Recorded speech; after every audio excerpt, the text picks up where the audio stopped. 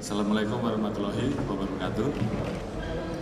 Yang saya hormati rekan-rekan media, eh, malam ini saya akan menyampaikan rilis terkait dengan perkembangan dari berita yang mungkin juga rekan-rekan semuanya eh, sudah mengetahui bahwa sekitar pukul 16.30 tadi eh, telah kita lakukan tindakan tegas terhadap pelaku teror yang mencoba melakukan aksi di Mabes Polri. Adapun kronologisnya kurang lebih jam 16.30 tadi ada seorang wanita yang berjalan masuk dari uh, pintu belakang, kemudian uh, yang bersangkutan kemudian mengarah ke pos gerbang utama yang ada di Mabes Polri. Yang bersangkutan kemudian menanyakan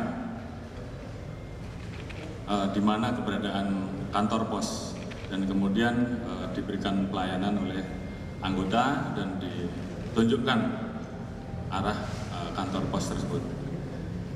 Kemudian wanita tersebut uh, meninggalkan pos tersebut, namun kemudian yang bersangkutan kembali dan kemudian melakukan penyerangan terhadap anggota yang ada di pos jaga dengan melakukan penembakan sebanyak enam kali, dua kali tembakan kepada anggota yang ada di dalam pos, dua kali yang ada di luar dan uh, menembak lagi kepada uh, anggota yang ada di belakangnya. Kemudian terhadap tindakan tersebut dilakukan tindakan tegas terukur terhadap yang bersangkutan. Kemudian dari hasil olah TKP ditemukan identitas yang bersangkutan bernama ZA umur 25 tahun, alamat di Jalan Lapangan Tembak, Kelapa Dua Wetan, Kecamatan Ciratas, Kota Jakarta Timur.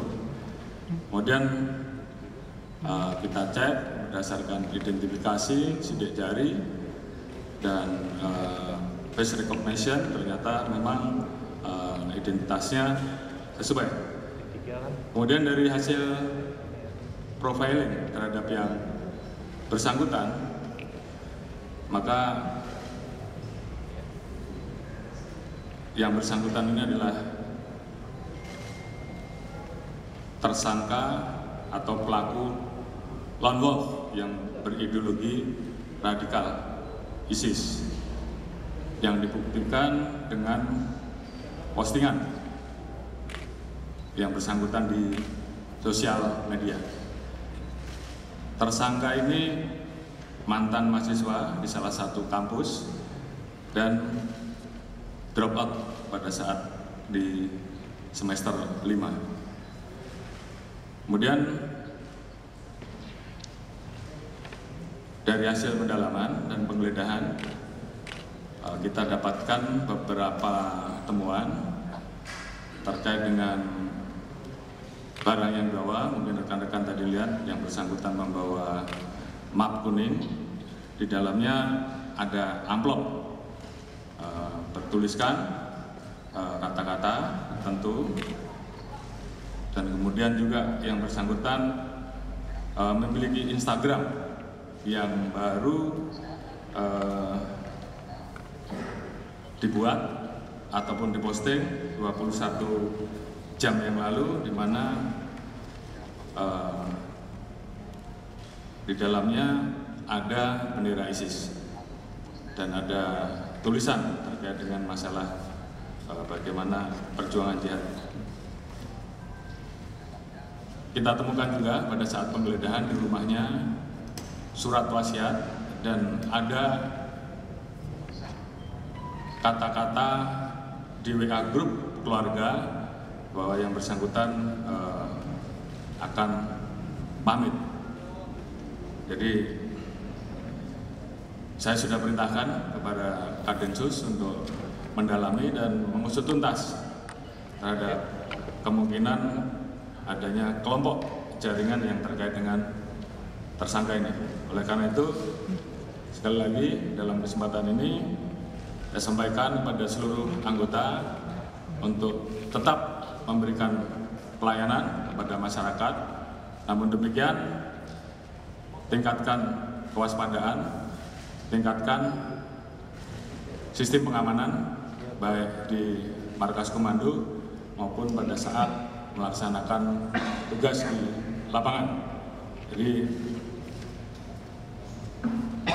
kami minta untuk rekan-rekan seluruhnya tetap memberikan pelayanan total kepada masyarakat. Kemudian saya sampaikan juga bahwa sampai hari ini terkait dengan pengungkapan bom yang kita lakukan,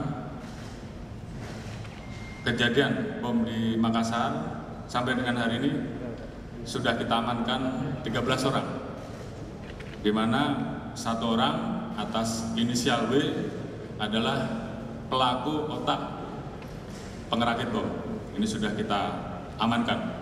Kemudian di Jakarta sendiri saat ini sudah kita amankan 5 dan di Bima 5 juga.